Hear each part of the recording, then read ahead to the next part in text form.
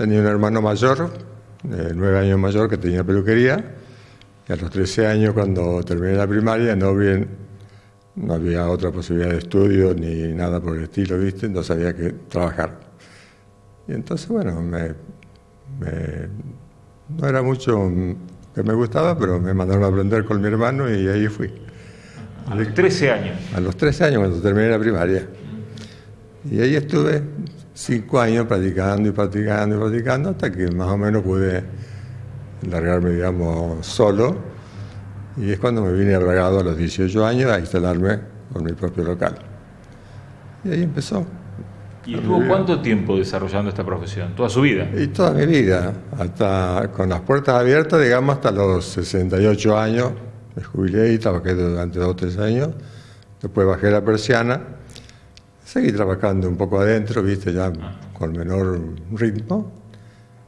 Y así hasta el, hasta el día de hoy, que tengo algunos 10 o 15 amigos de toda la vida, que le corto más que por favor y por... que a mí me viene bien que venga un amigo y charlamos, hablamos media hora, viste. Y bueno, me entretengo.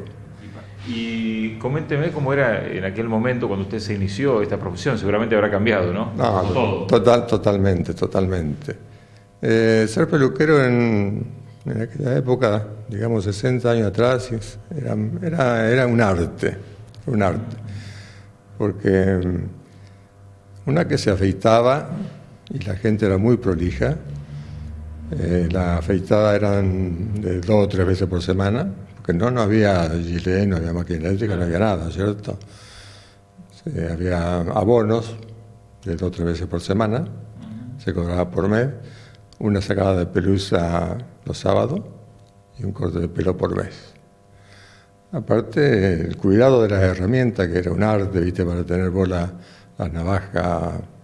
El viernes, por ejemplo, era el día que se preparaba todo para el sábado, que es el día que más se trabajaba. Entonces vos el viernes a la noche terminabas tu trabajo, limpiabas toda la peluquería, limpiabas los espejos, las máquinas, los peines, asentabas las navajas. Entonces llevaba una hora y dejaba todo listo para el sábado cuando tenía que atender 20, 30, 35 personas. ¿Te das cuenta?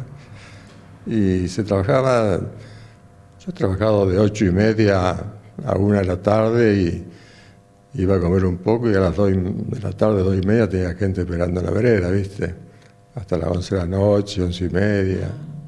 No, no, era sacrificado. Y me imagino, porque además es un trabajo que siempre como uno tiene que estar parado. Tiene que estar parado, sí. Pero yo tuve la suerte que, como era delgado y eso no me afectó la pierna, gracias a Dios. No tengo varices ni nada. Eh, usted recién dijo, antes era un arte, ahora es distinto, a ver cómo lo ve ahora.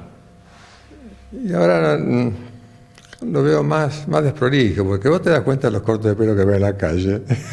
yo, yo me quiero morir, porque ¿No, ¿No, será que han cambiado las tendencias, los estilos? no, lógico todo, porque ese eh, es un modernismo que no es clásico, no es lógico. Que se pase una máquina acá, se haga una raya acá. Eso no, no, es, no es cortarse el pelo, eso es cualquier cosa en la cabeza. Antes vos tenías que cortar el pelo bien parejito, hacer un refinado acá en la pelusa perfecto, todo bien marcadito la patilla, la, oreja. Y bueno, era, era un trabajo perfecto. Ahora es todo imperfecto. este sillón debe tener 100, más de 100 años. ¿Más de 100 años tiene este sillón? Sí. ¿Y de, quién era? Era de un peluquero de Obrien que se lo vendió a mi hermano y después me lo pasó él a mí. Así que se puede imaginar. Y está sí, en muy buenas condiciones. retapizado y esas cosas, pero bueno, pero se mantiene, mantiene bien. ¿Y después hay alguna otra reliquia entre los objetos que tiene? Y algunas, lo que pasa es que se van, se van rompiendo, ¿viste? Y no se puede sí, sí, proponer. Por ejemplo, esta talquera también, esta talquera también debe tener 100 años porque es un cromado perfecto. Porque estos vaporizadores que venían de acero inoxidable, por ejemplo, no vienen más. Pero bueno, se van terminando y no, no se puede reponer. Claro. ¿Siempre peluquería masculina? Sí, sí, sí. sí, No, lidiar con las mujeres es muy difícil. ¿En la familia tampoco? No. A su señora. A mi señora le corto el pelo yo, Ah, pero ¿sí? toda la vida. Sí. Y ahí no tiene problemas. No. Menos mal.